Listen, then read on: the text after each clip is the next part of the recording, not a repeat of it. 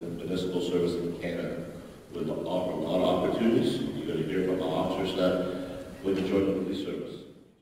So this is our general information session. What we're going to talk about a little bit is about our service. We're going to talk about the constable selection process. So if I do a great job by the end of